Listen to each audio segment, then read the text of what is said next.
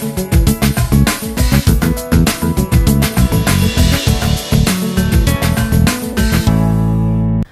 నలభై సంవత్సరాల్లో జరగని అభివృద్ధి ఈ నాలుగు సంవత్సరాల టీఆర్ఎస్ పాలనలో జరుగుతుందని సర్పంచ్ల ఫోరం గౌరవ అధ్యక్షులు నందెల్లి ప్రకాష్ తెలిపారు. వందల కోట్ల రూపాయలు మంజూరు చేయించి నియోజకవర్గాన్ని అభివృద్ధి పదంలో ముందుంచిన ఎమ్మెల్యే గంగుల కమలాకర్కు యావత్తు ప్రజలు రుణపడి ఉన్నారని చెప్పారు. రానున్న రోజుల్లో ఆయనకు అండగా నిలిచి బంగారు తెలంగాణలో భాగస్వాములు కావాలని ప్రకాష్ పిలుపునిచ్చారు. కరీంనగర్ నియోజకవర్గ అభివృద్ధికై ముప్పై నాలుగు కోట్ల రూపాయల మంజూరు చేయించడం పట్ల హర్షం వ్యక్తం చేస్తూ వివిధ గ్రామాల ప్రజలు సంబరాలు జరుపుకున్నారు. కొత్తపల్లి మండలం రేకుర్తి గ్రామ బస్టాప్ వద్ద సర్పంచ్ల ఫోరం గౌరవ అధ్యక్షులు నందెల్లి ప్రకాష్ ఆధ్వర్యంలో ఎమ్మెల్యే గంగుల కమలాకర్ చిత్రపటానికి గ్రామస్తులు పాలాభిషేకం చేశారు.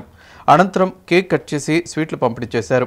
ఈ సందర్భంగా నందెల్లి ప్రకాష్ మాట్లాడుతూ గత నలభై సంవత్సరాల కాలంలో గ్రామాలు అభివృద్ధికి ఆమడ దూరంలో ఉండేవని ఆవేదన వ్యక్తం చేశారు.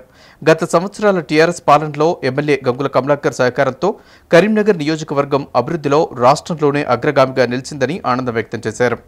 అన్ని కులాల వారిని గౌరవించి కమ్యూనిటీ భవనాలకు అత్యధిక నిధులు మంజూరు చేశారని చెప్పారు. నిరంతరం ప్రజల కోసం పనిచేసే ఎమ్మెల్యే గంగుల కమలాకర్కు యావత్తు ప్రజలు అండగా ఉండాలని నందెల్లి ప్రకాష్ పిలుపునిచ్చారు.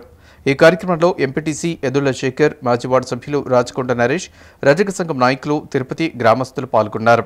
అప్పటి నుండి ఇప్పటి వరకు కూడా ఏ ఎమ్మెల్యే గారు కూడా కమ్యూనిటీ వాళ్ళ కొరకు ముందుకు పోలేదు ఏ ప్రభుత్వాలు ముందుకు పోలేదు. ఈ నాలుగు సంవత్సరాలలో తెలంగాణ రాష్ట్రం సాధించుకున్న తదుపరి అన్ని కులాలు అన్ని మతాలకు అన్ని సంఘాలకు ఒక కమ్యూనిటీ హాల్ ఉండాలి. మేమందరం కూడా ఇలాంటి ఎమ్మెల్యే ఉండాలి ఉంటే ఎమ్మెల్యే గెలవడం గొప్ప కాదు ఎమ్మెల్యేగా ఉండడం గొప్ప కాదు. ఏ పనన్నా చేయడానికి ప్రజల కోసం నేనున్నా అని ఇలాంటి గంగుల కమలాకర్ ఎమ్మెల్యే దొరకడం ఈ ఈ కరీంనగర్ మండల ముప్పై గ్రామాల ప్రజల సంతోషం అదృష్టమని మేము భావిస్తున్నాం.